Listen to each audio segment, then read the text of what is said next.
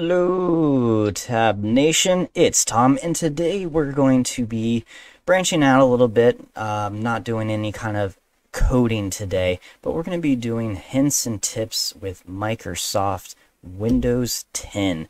Now, a lot of these should still work in Windows 11. If they don't, let me know in the description below. I have yet to have my computer supported by Windows 11, so I'm not really sure. So if you guys could help me out, that would be great. So the first trick I want to show you, this is by far the one I probably use the most, is kind of just like closing out of a bunch of windows. So let me go ahead and open a bunch of random stuff here. We'll open Chrome, we'll open Paint, and we'll just open Notepad real quick. Uh, let's just open a Explorer there. That's easy enough. So we have all these windows open, you know, maybe you have a whole bunch and you want to get all of these minimized except for Chrome. You just only want Chrome really as an active window. And instead of having to go and click the minimize on every single one, you can just grab whatever program you're in and actually shake it with the mouse. So watch this. And as you see, it just minimized everything except for Chrome. So that's the one I like the most. Now, let's say you just want to minimize everything. You don't even want a single window open. In the bottom right corner of your desktop, let me see if I can get that a little bit better here. There we go. So in the bottom right, right here, you got your little notification thing here. But right next to it, it's kind of like a little tiny box. It's kind of hard to see. Uh, but if you click that, it automatically minimizes everything. And then if you click it again, that little corner down there, it all comes back. So that's another one that's very useful to close out and get straight to your desktop if you need. The next thing we got is kind of like an old school Windows menu if you like that. The start menu down here, you know, you're pretty familiar with this, I'm sure. But a lot of people don't know you can actually right click on it and you get this nice little menu here with a lot of the most common places to jump to in your system. I personally use this a lot of times to jump faster to task manager versus having to do control alt shift or control delete or control shift escape. I just click here and I use it a lot for run. It obviously has a lot of other different stuffs here like apps and features, system, device manager, stuff like that. So that's just kind of a nice way to really jump to something a little bit faster. Next thing we're going to do is we're going to open settings here. This little gearbox here. We get this. We're going to go to search. And then we're going to go to searching windows in the little tab over here. Now, by default, this is set to classic, which really means it's only searching your libraries and your desktop on your computer, which is good because it's going to use a lot less of your CPU power and it's going to be faster. But if you really need to search your computer to its full extent, you can always change it to enhance. And this will search every file folder on your computer. So if you're looking for something that's a little bit buried and the classic search is not working, you might want to go ahead and switch this to enhanced and you have a more likely chance of finding those files or folders that you're looking to. But just know it's obviously going to be a lot slower because it's searching everything versus your main areas in your computer's hard drive. And it is going to use a little bit more power from your computer. So you might notice some lag if you're doing any type of heavy program like maybe you're gaming or something you might notice a slight lag in your game while the search is happening depending on your computer Next is an interesting one, God mode. This is very useful if you're kind of like in the IT industry and you want to be an explorer and have access really to all its control panels and features. Uh, we're going to go into God mode. We're going to create a folder that's God mode. So we're going to do right click on your desktop or wherever you want to put this. We're going to go to new. We're going to create a new folder and then we're going to copy and paste this into it. So it's God mode dot and just a bunch of gibberish basically to you. I will put this in the description below so you can just copy and paste it. We're going to go ahead and click out. And as you see, it just changed the folder icon.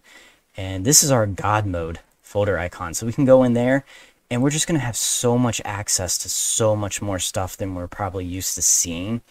As you can see, there's like everything's in here that you could possibly need when you're doing IT for the most part. I mean, obviously not everything you need, but that is God mode. Uh, like I said, if you're a normal user, you're here just to kind of learn some fun tips and tricks. This is probably not for you unless you're in the IT industry. Um, but that is our God mode folder. Another one I use quite a bit is kind of like snapping windows to fit your screen with two displayed at once. Uh, a lot of people don't seem to know this even exists, but I quite enjoy it. So we're going to use Notepad++ here, and we'll just open, oops, we will open a Chrome. So let me just get a new tab here. So I got two windows here. You know, I could sit here and constantly click in between, or I can manually resize these. Or you can just grab one of the windows and you can drag it to the right side or to the left side. And it's going to, as you see, it does a little highlight thing there with half screen. Let go. It's going to automatically format to half screen. And then it's asking, what do I want on the right side? So I'm going to say Notepad++. And it's going to auto fit that. So now I have those two windows there that just snap to the perfect size for me. I can now very easily see both these windows at the same time. The next one that's really helpful, especially these days when people have gone to work from home. You are using your personal computer maybe, and you want to really separate your personal desktop from your work, work desktop without having to have multiple accounts. Well, we can create virtual desktops as you see in this picture here. I'm just showing that because I'm not sure if that's really going to show up when I do this. Hopefully it does. But down in the bottom left, next to your start menu, you have this little thing that has basically two little boxes and like a little slider on it. It's called Task View. You're just going to left click on that. And you're going to get a pop-up with all your different windows that you got um, as a way to jump to them quickly. But up here, you're looking for in the top left what says New Desktop. You're going to click that, and you're going to create an entire new desktop. And from there, you can drag your windows into that desktop that was up there. Oh, let's go back. So as you see right here, I can grab and I can drag this over and now that's on desktop two and I can just easily switch between my two desktops. Uh, another way to switch with a hotkey is Windows Control left or right, and that will just jump to either whatever the next one is or the last desktop up is. You can have bunches of them open. You know, if you want one for gaming, one for personal, one for work, uh, you know, whatever. It's a great way to kind of create different desktops that have different, I guess, themes to them um, based on what you're doing. So hopefully that showed up in the video. I'm not really sure. Now, something a lot of people don't know is if you're in IT, this is probably going to be more for you, but command prompt can actually be kind of customized a bit. Um, so you got this normal, you know, I, I like this because it's kind of like night mode. It's, you know, white text on a black background, but you can actually come up here and right click and go to properties. And in here, there's a lot of stuff you can do. Cursor size. Do you want it to be different when you're in command prompt so you can see your cursor? Uh, you know, there's a whole bunch of different stuff here. You can change the font. You can change the size of the font. Uh, maybe you want this to be a little bigger because it is kind of small. Uh, layout. Uh, my favorite is colors. You can definitely like change like the background and it shows you a little preview here before you say okay which is kind of nice. So you can kind of play. You can be like ah, I want a blue background. You can change like the screen text to be you know black. Uh, so let's go ahead and push okay on that. And I believe you have to relaunch it in order for it to work. Yes. Uh, there we go.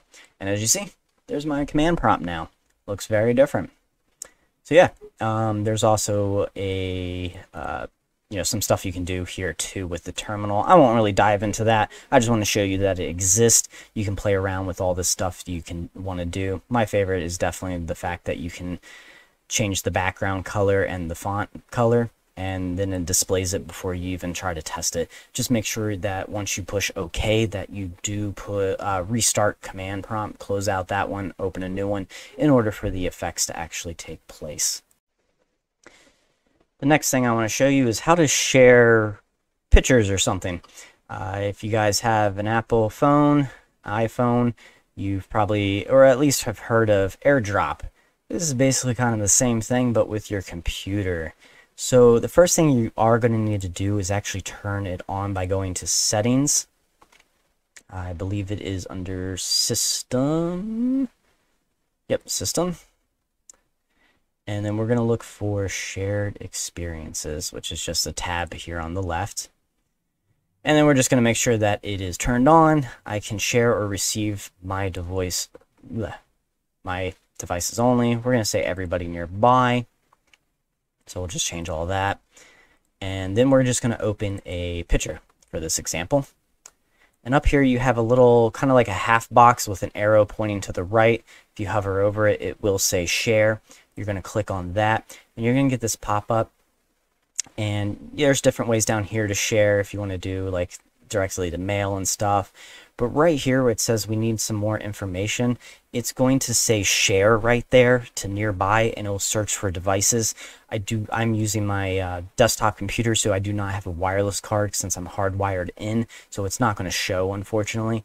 But here it would show a way to share and search for people who are nearby you within Wi-Fi range um, and you just kind of basically airdrop it. They'll get a notification on their computer if they have it enabled. Hopefully, they don't have it blocked, and they'll be able to directly download the picture from your computer to their computer. Another thing I like using, especially if I'm kind of rambling on like I usually do in these videos or other stuff, is a way to type. So on your computer, or sorry, on your phone, you know, I use a lot of times where I'm texting someone, I'll use the voice to text. Microsoft has that built in for you.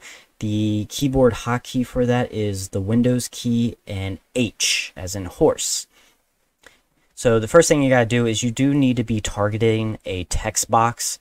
So we're just gonna use Notepad here and you can use like Chrome for the URL or a Google search box, whatever you want. We're going to go ahead and push Control H and we're going to say something and it's going to convert it to text. Hello, this is a test. And I'm going to push Control H to close that out so it stops listening. And there we go. Hello, this is a test. So it's kind of like texting on a phone with the speech to text, which I love. This is a great thing to do. Now, if you do not have that feature turned on, the first time you push Window H, you'll get a little notification bar at the top that says you need to go to settings to activate this feature. Just click on that box. It'll take you directly to where you want, and there's just a little slider. It'll be on the off position. You click it, switches off, just close it out, and then push Window H again, and you'll be good to go. Now, if you're taking a lot of screenshots, uh, you're probably very familiar with the Windows snipping tool.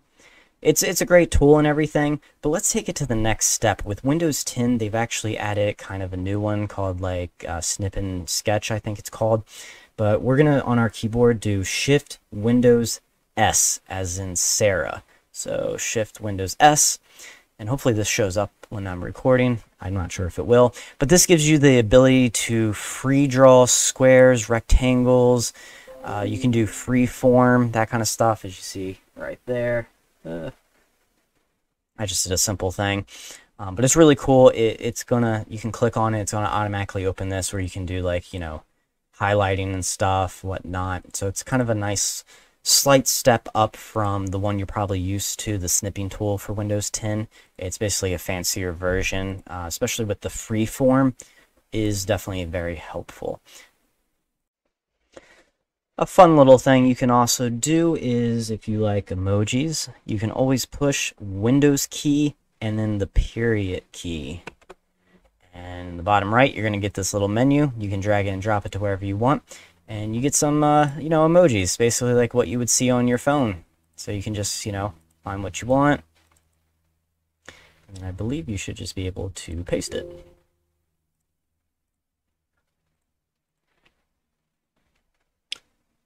Where did that go? Windows period. There we go. So yeah, um, basically that's how you get those. Uh, there's other stuff like symbols, uh, the old style emojis from back in the day that you used to use. So I'm not sure how to actually get that to copy over. If you find out how that works, let me know a little better. I have never actually used that. I just know it exists. So thank you for watching this. This is going to be a part one of a series. This was kind of, we covered a lot here. I don't want to overwhelm you guys in one video because if I throw too much stuff out there, you'll obviously probably forget some of the stuff I talk about in the video like I would. So definitely look out for part two coming soon in the next few weeks with more hints and tips for Windows users. Hope you guys enjoyed it. Definitely hit that subscribe channel. I'm all about making your life easier, automating your job, your gaming, your personal life, whatever you guys see fit for what I teach. Definitely let me know in the comments below if you have any hints or tips that I did not cover in this video that you think should be shared with the world and that people would find very interesting. Definitely hit that like, bell notification so you can watch out for that next one. And I will see you all on the next video. Have a great day.